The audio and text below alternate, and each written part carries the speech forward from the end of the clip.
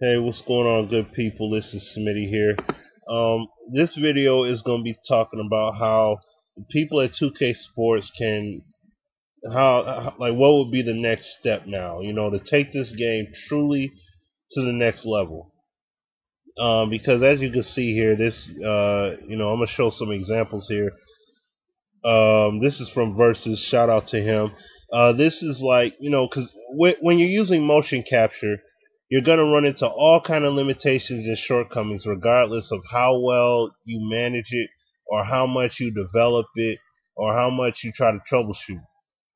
You know main issues you're going to have is like in his example here with the player not being fully tangible uh, Quentin Richardson just sliding backwards as this player receives the ball you know what I'm saying? And the ball gets sucked into his hand on that on the uh, bounce pass here. But as you can see, because because of the animation limitation in the game, you're not gonna you, you really won't get to see it fully play out the way that it honestly would with the realistic physical dynamic. You know, and even when it comes to the type of steal animation that would get played out, like if Quentin went for the steal, who's to say that the steal will go out the right way? You know what I mean? And uh, here was another example of where uh, this is from Brozalles, where his player clearly was in position for the board, but yet uh, it goes to Zach Randolph. He's able to get the board over him, and you've seen how the ball got sucked into his hand. Number one, but number two, the ball morphs through his player. You know, the ball tangibility as well as the ball being sucked into the hands, as well as you know player the uh, animations being played out, the you know the time it takes for animations to play out are all things that are shortcomings when you're using um, a motion capture technology. And when it comes to taking the taking this game to the next level, I believe that they're gonna have to take from the from Backbreaker, honestly, and they're gonna have to employ the services of Natural Motion. Because as you can see here, shout out to BB Highlights and Bonus Man on this. But as you can see, look at how the dynamic physics are being represented here. You know, and this is in the football. But just think about it. Just vision it being put into basketball. Seeing how crossovers being played out every you know from uh, the contact on layups and dunks. You know, making the true midair adjustments, not having some awkward and quirky animation play out, but everything being played relative to the body position of both the the the ball handler and the defender. You know what I'm saying? Like these are the kind of things that are gonna help take this game and propel it to the next level, honestly. Um, this would be a perfect example of that. Like, just think with real time physics, that ball would have been slapped out. You know, not with real time, you know, not that real time physics engine that EA is talking about, but I mean real physics, like the, Euphoria technology. That right there is the real physics right there. Um, making the ball 100% tangible. You know what I'm saying? The ball being fully tangible, and also seeing how you know, D Rose here had his hand on the ball, he would have slapped the ball away. You know I'm saying? Clearly.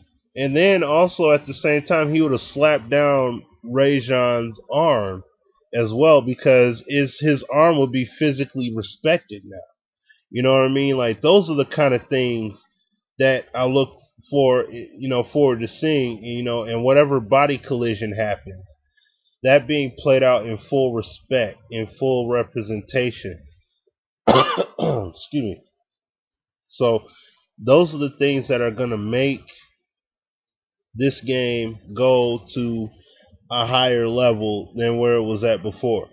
You know what I mean? Because the thing is, with what EA is trying to do, is they're trying to bring in a physical dynamic where shot where shots are truly altered in a somewhat real-time fashion, but the technology they're using is just a motion capture technology.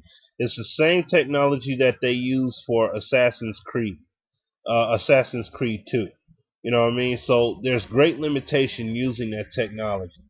You know what I mean? Like all it is, all it is that they take a they take the the uh, they take the skeleton and they program they program the dynamics of the uh, of of the uh, wrist movements and arm movements and leg movements. You know the body movements. So in essence, it's it's basically an enhanced mocap. That's basically what it is. So it gives you the visual of it being a truly dynamic animation being performed, but it really isn't. It's not, you know, everything is not being played out in its realistic form. Physics aren't going to be fully represented and respected in every dynamic because it's because of the limitations of the motion capture. You know what I'm saying that they're using. So all it is is just an infusion of that. Like it's not going to be a constantly calculated, you know, real-time physical dynamic going on that EA was trying to promote and sell to the people. Now the ball physics, yes, they had on point. And the shot mechanic that they had for the uh, NBA Elite, that was awesome. I love that. But they're going to have to make some adjustments if they're really gonna take that game to a new level and seeing where it is right now, where they got them going between studios, who knows what's gonna happen there. But in terms of getting back to 2K, like you see this limitation here, players sliding in front of a, in front of the uh, Paul Pierce sliding in front of Deron Williams like that, when Deron Williams is clearly the faster player with more agility, more speed, better ball handling. You add that real time technology to it, Paul Pierce is either going to trip him up because his leg will be right there, or Deron can do a crossover of some sort to try and realistically gain position. Or Paul Pierce can reach around and try and steal the ball. And you will, and the thing is, you'll input the command to steal the ball, but then, but uh, Paul would reach around and and go for the steal you know, using the internal game logic to perform the move. You know what I'm saying? And giving it that kind of control, like like how you had in Backbreaker, when you had a uh, halfback that would go low and try and give a shoulder charge, you would just input the command to do a tackle, and your defender will dive even lower, you know, just by game logic, and he would dive even lower and try and take out the legs of the you know of the uh, ball carrier.